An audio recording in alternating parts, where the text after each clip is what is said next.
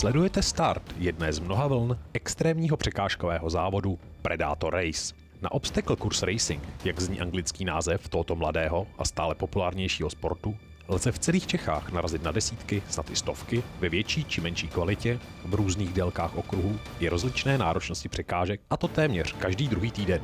Tyto běhy jsou doménou zejména letních, chcete-li teplejších měsíců, ale jak vidíte z obrázku, sestřih tohoto závodu bude tak trochu mrazivý. Navíc, když ho sledujete, je již vlastně unikátem. Není to tím, že se jedná o podnik z legendární predátoří líhně, ale hlavně tím, že se běží historicky první zimní závod této populární série. Dámy a pánové, pohodlně se usaďte a podívejte se s námi na to nejlepší z prvního závodu letošní sezóny Predator Race Winter Edition. Tak víceméně vždycky ty závody nám končily někdy v říjnu a další začínaly někdy v dubnu a v podstatě v tu zimu jsme měli takovou jako okurkovou sezonu eh, a byli jsme na to víceméně jako nadržený něco udělat. Eh, dlouho jsme se rozhodovali, jestli na to máme, eh, technicky, fyzicky a psychicky. Nakonec se myslím, doufám, ukázalo, že jo. Ačkoliv jsme tady prožívali krušní chvíle, jsme v Krušných horách a bylo tady krušno.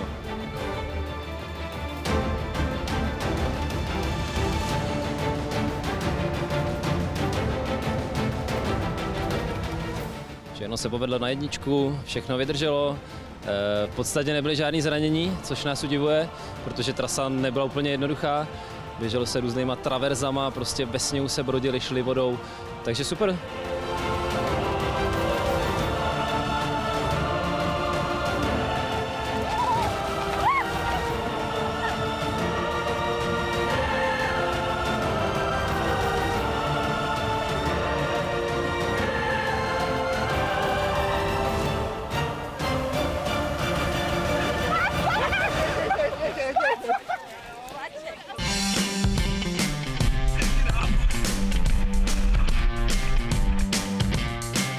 Ten vývoj, ta komunita vzniká, rozvíjí se eh, a ty závodníci jsou lepší a lepší.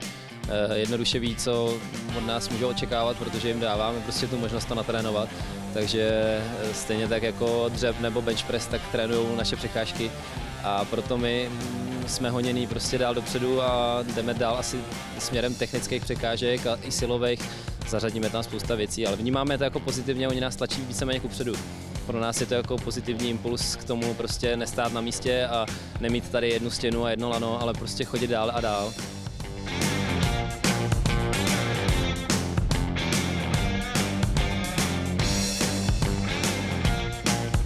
Tak toto je pro šestou Aťou koblížci.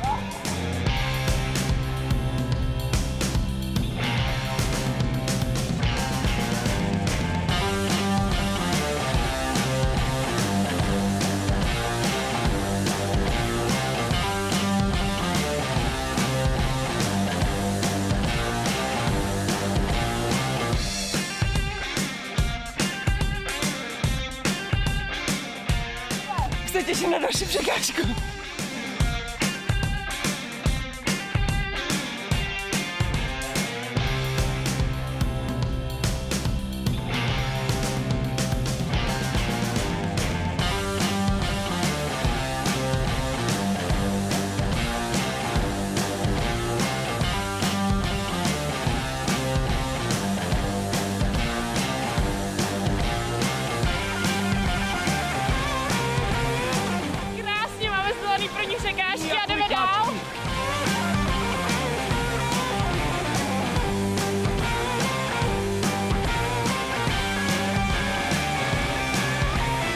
Přitvrdil by. Je to měkký.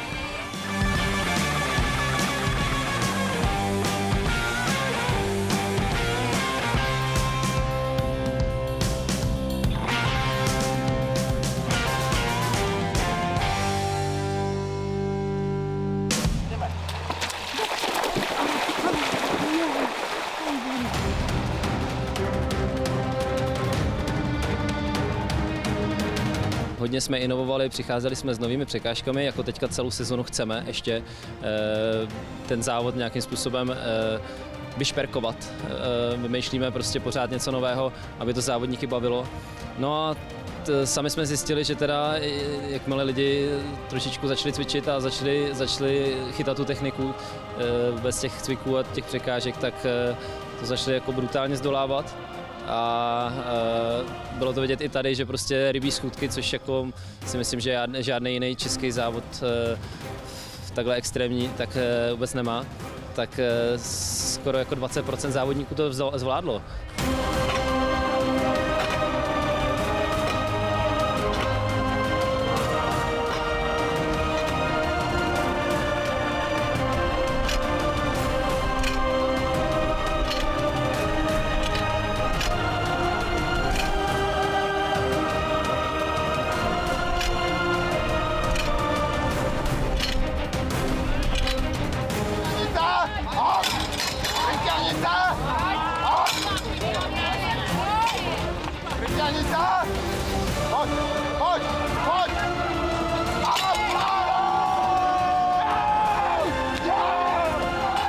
Si to člověk nenatrénuje.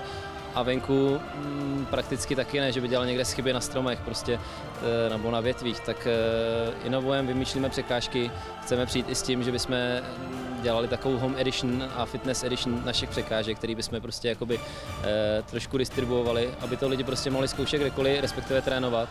A e, tam je potom jako na snadě udělat nějakou jako pro a takovou hob- hobby, hobby, hobby kategorii protože se dost jakoby separuje, kdo, kdo na to má a kdo teprve začíná. Jo, jako kdo, kdo už to myslí vážně s, tím, s tímhle závodem a kdo teprve sem přišel s partou lidí a užívá si to, jede tý building a, a je to ještě taká ta, takový to holý šílenství a zábava a kdo už je víceméně jako v režimu sportu.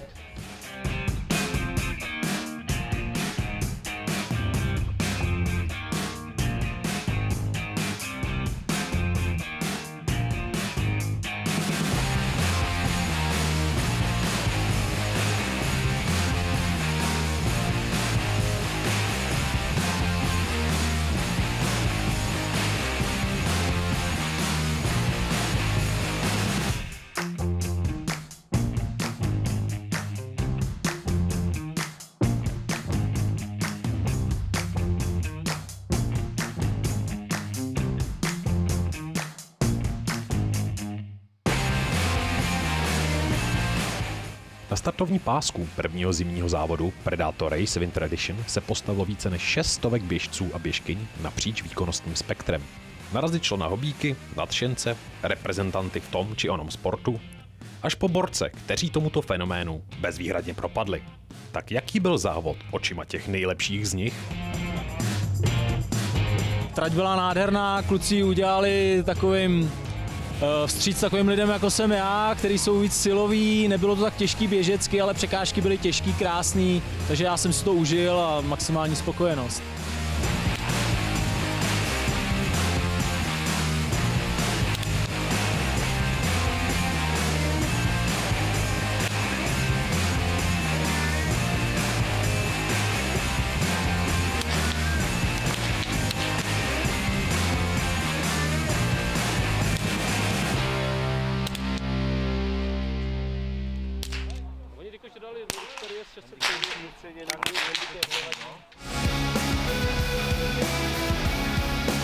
Nejvíc jsem se bál té střelby, tam je to trochu o štěstí, to přiznávám. A pak uh, vacíku v klacík, ty totemy visící, ty byly taky taková jako noční můra, ale taky se mi to povedlo. A ve výsledku asi nejvíc, nejvíc bolel ten nejdelší výběh do kopce po sněhu.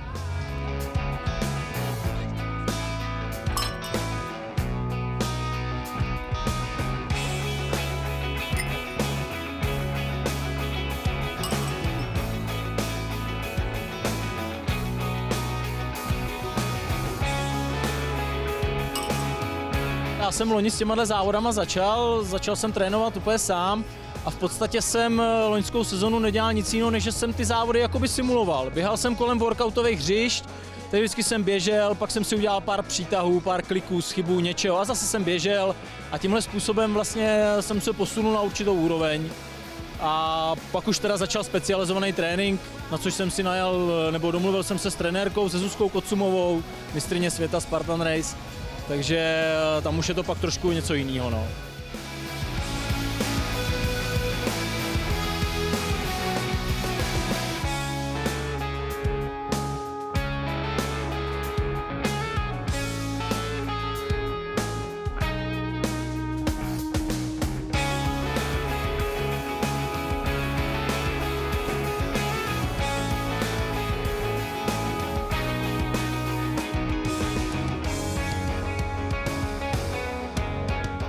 Čo sa týka prekážok, tak bol zatiaľ najťažší, čo som išla.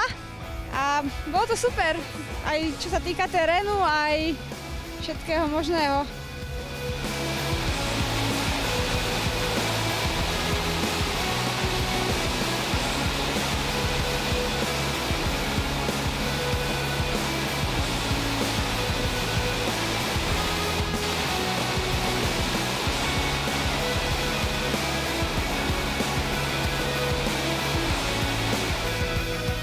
Ryby som ani nešla skúšať, lebo mi to prišlo časovo nevýhodné sa s tým zaoberať, tak som išla radšej rovno obísť to.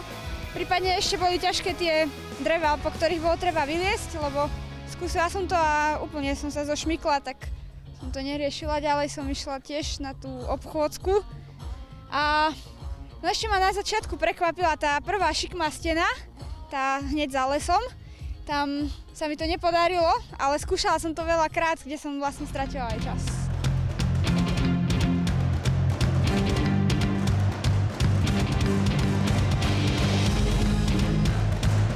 Ja mám veľmi rada také terény cez les, čiže sa mi páčili tie časti, kde sa išlo takým ťažším terénom. Tie mám veľmi rada.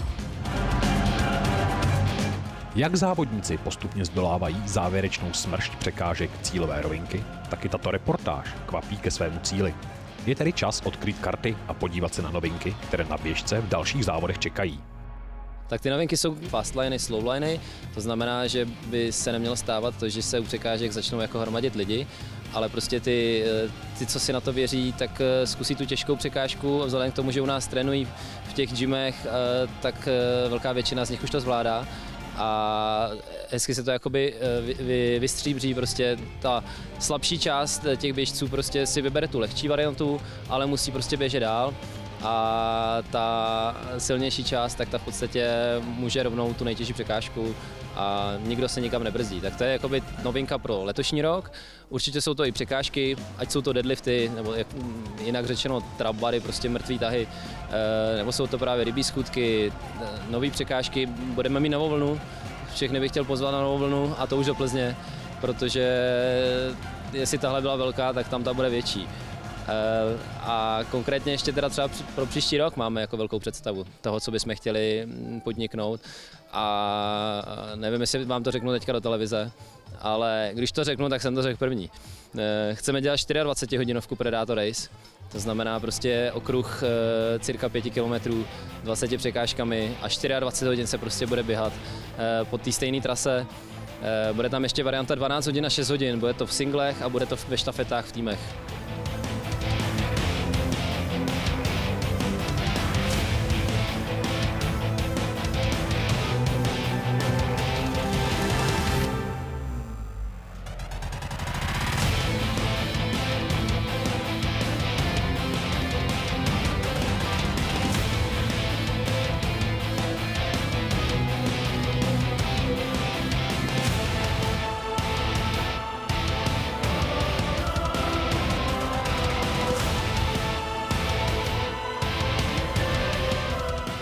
Závěrečnou překážkou a jak bylo řečeno, ještě stále malou brutální vlnou se se závodem Predator Race rozloučíme.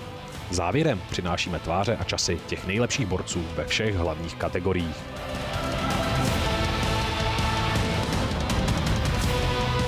My se budeme opět těšit, ať už na obrazovkách Sport 5 nebo na startovním roštu. Mějte se pěkně a nashledanou.